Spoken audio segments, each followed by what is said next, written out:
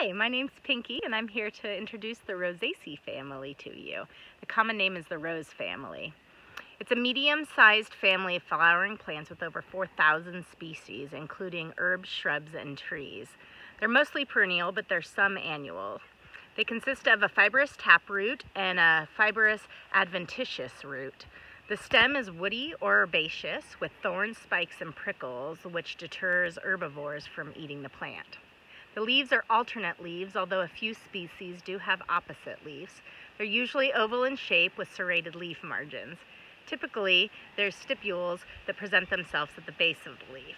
The flowers are a complete perfect flower, usually with four to five separate sepals and a similar number of petals or petals in multiples of fives.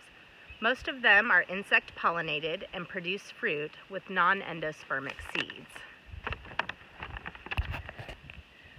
Common throughout most of the Yukon and widespread throughout Alaska is the Rosa acicularis, also known as the prickly wild rose. It is a woody shrub that stands about one to five feet tall that has thorns on the stems.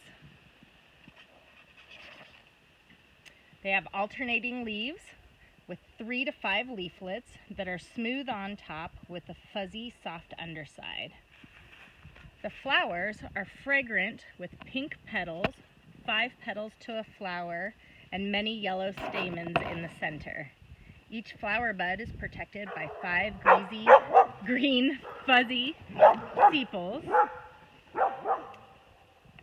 that dry and turn brown as the fruit matures. The fruits are firm green rose hips that develop to orange or deep red in the fall. You can see one starting just back there. They get much larger.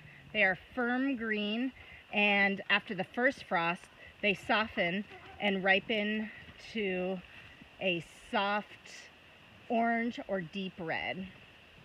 They begin to wrinkle in the fall and that's when it's time to harvest. Some may even remain on the plant until the following year. Inside each rose hip is a soft, sweet pulp surrounding many hard, hairy seeds. They can be eaten raw, but I'd avoid eating too many seeds because they can make you ill. Um, oftentimes, they are boiled, mashed, and strained for syrups, juices, and jellies. You can also save the rose hips to make rose hip tea. They can be stored frozen or dried. I have some dried rose hips here from last year's harvest, along with some petals that I harvest this year to dry for teas as well. The Rosa acicularis has rose hips that are high in vitamin C. They are actually the highest vitamin C content of any rose hip in the world. Three rose hips is the equivalent of the same amount of vitamin C as in one orange. They also include many other nutrients in the rose hips, including calcium, iron, magnesium, niacin, phosphorus, potassium, protein, selenium, zinc, and vitamins A and E. And while the rose hips are most commonly consumed, the petals, the peeled stems, and the roots can also be consumed for nutritional purposes. The Rosa acicularis is not only a beautiful wild plant in Alaska, but, as with many plants in the north, a very useful one as well.